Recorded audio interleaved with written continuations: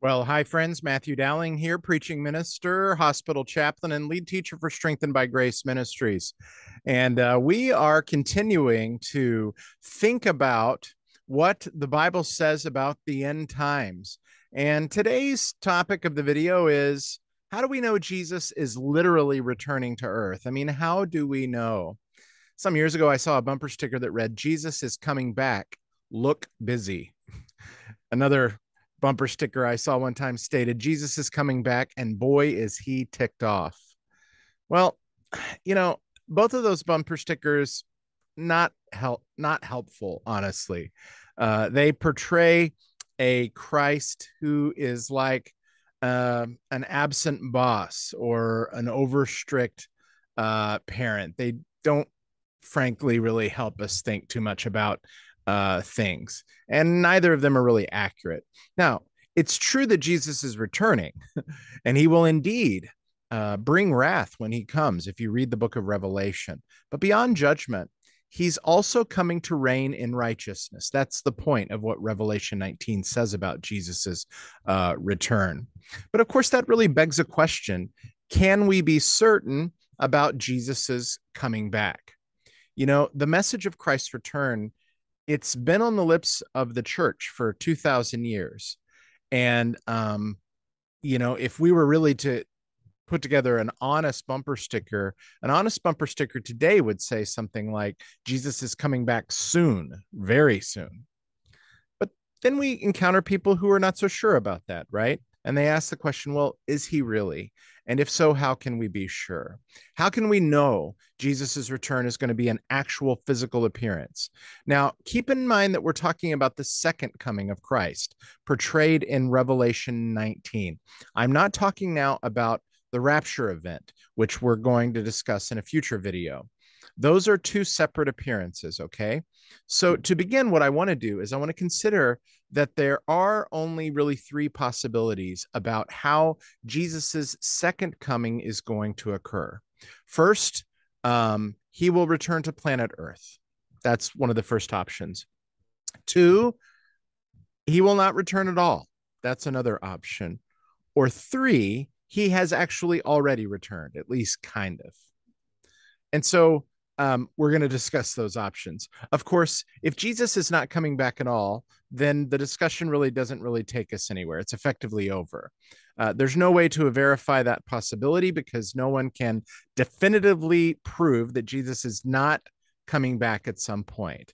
Now, granted, if his return is nothing more than a myth, then everything else in the Bible uh, that uh, the Bible claims about Jesus is probably questionable and suspect as well because you know if we can't even trust the scriptures that speak about the lord's return then how can we trust other passages which speak about other important matters like morality or salvation or heaven or hell or eternal life? So three possibilities. Jesus will return. Two jesus won't return. Three jesus has already returned kind of. Okay so um if it's true that Christ will make another trip back to earth. He will return for a second time, what's called the second coming of Christ. Then we still are faced with two potential options. First, Jesus's return will be spiritual and not physical, or two, he will indeed show up in a physical, glorified body. So the first thing I want to do is just ask how will Jesus return? You know, if he's not going to return at all, then things are over. Just to be clear, though, the Bible's very clear that he will return. So we're just going to lose that option altogether that he won't return at all. But the question is now, how will he return? So let's first explore the view that sees Jesus' second coming as spiritual and not physical. Okay. Now, typically, those who hold this belief fall under an interpretive view known as preterism. And preterism interprets the events described in Revelation 6 through 19 as having already been fulfilled all the way back in the first century, AD 70, when Jerusalem was destroyed by General Titus. Now, within this approach to Revelation are three kind of underviews of what's called preterism. There's mild, there's moderate, and there's extreme. And the thing that's true about all of these three views or subviews of preterism is they all three see uh, Revelation as being historically fulfilled already in the first century. Now, most preterists still believe in a future uh, coming of Christ. However, extreme preterists believe he already returned in AD 70 and that it was a spiritual return, not a physical one. Now, it's obvious to all of us that Jesus did not arrive physically at Armageddon in the first century and killed the world's armies as described in Revelation 19, verses 11 through 21. And so, for extreme preterists, Jesus' return must of necessity have been spiritual and symbolic in nature. In fact, preterists are often forced to symbolize the majority of the prophecies and events in Revelation because there are no historical records or incidents that support the claim that the judgments described in Revelation 6 to 19 have ever occurred in Jerusalem or Israel or anywhere in the world during the first century, or frankly, anywhere else since that time. Now, as the book of Revelation describes, half of the world's population would have perished amidst world wars and cataclysmic judgments back then, well, we should expect that at least one person or scribe or historian would have written that fact down. But there's nothing, there's nada. Thus, preterists, they spiritualize, they symbolize virtually all of the prophecies and events in Revelation in order for them to make sense according to their views. And so there is a, a view out there that Jesus' return was spiritual and it was back in the first century. But to be frank, I reject that altogether. I just don't think it's true and it doesn't seem biblical.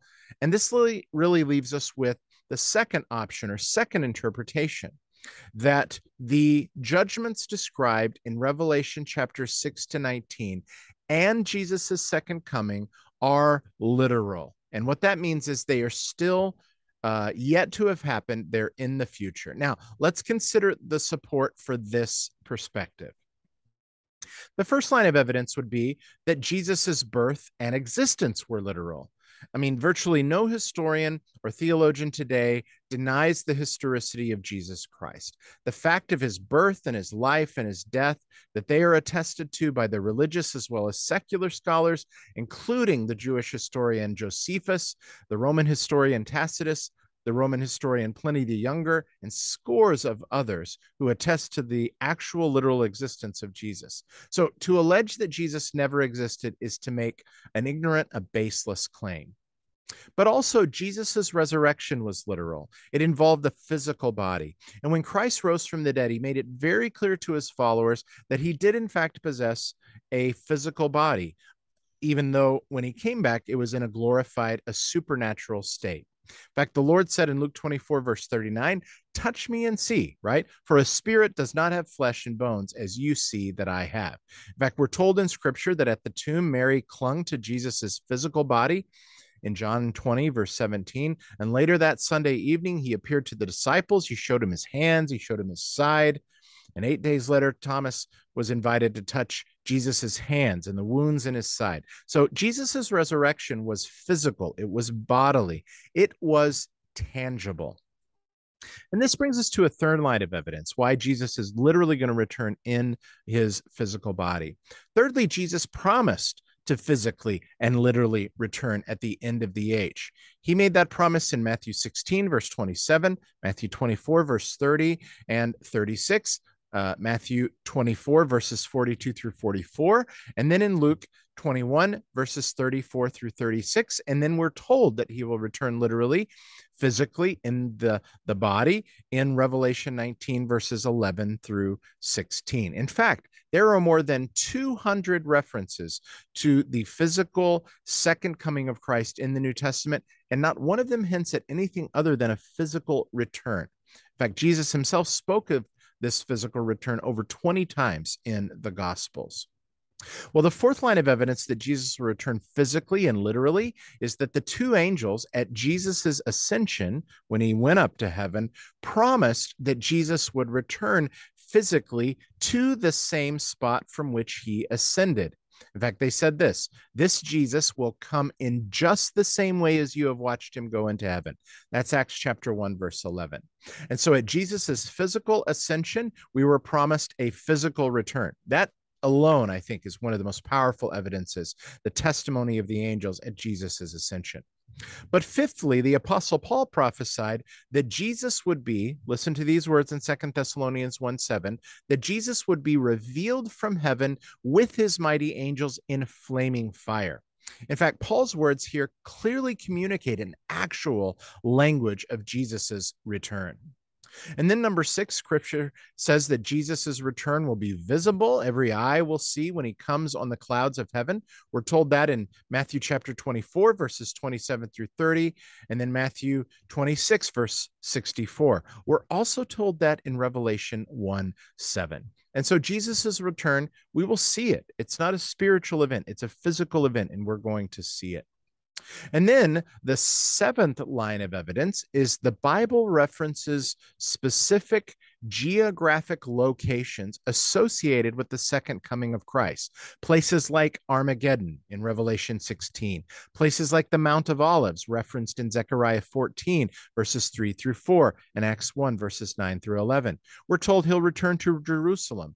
That's Zechariah 12, verses 1 through 3, Zechariah 14, 2, and then Revelation 16, verses 17 through 21. These are real places, and they're going to re- welcome a real king on a real white horse, as foretold in Revelation 19 11, with a real Jesus on the horse's back. And so the Bible's references to real places, physical places, geographical places, give us a sense that Jesus is going to return, of course, physically. And then the eighth line of evidence is that literal global armies are, we are told, going to assemble to do battle at Armageddon against the risen Christ. We're told that in Revelation 19, verses 19 through 21. That's not a figurative or a symbolic event. It's going to be a literal event. And those real armies are going to try to do battle against Jesus at the Battle of Armageddon. But of course, that will not work out well for these armies. And then number nine, a literal second coming of Christ is what will usher in a literal thousand year millennial kingdom. That's what's foretold in Revelation 19 and 20. And here's what's important this is the 10th line of evidence understanding Jesus' return is based on a literal approach to interpreting all of Scripture, including the book of Revelation. The early church adopted this interpretive approach and expected any day to see the same Jesus who had left them for heaven uh, years earlier. And when you look at Scripture, you need to realize that 100% of the first coming prophecies of Jesus were fulfilled literally. Just as foretold by the prophets, there was a real baby born in Bethlehem long ago.